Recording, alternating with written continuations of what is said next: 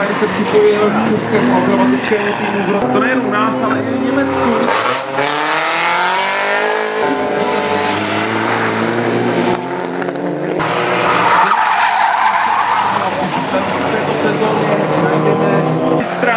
kategorie Challenger.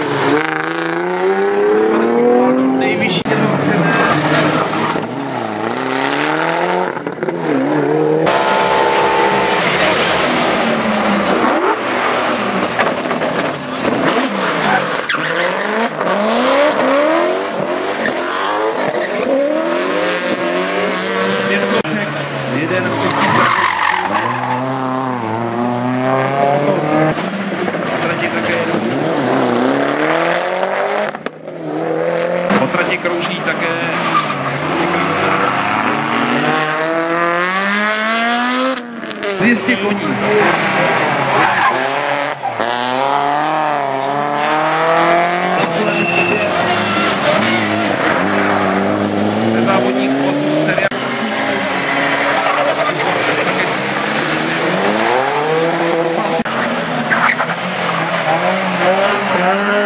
Teď právě Martin Mašek slyšel, že tady mluvím o čem se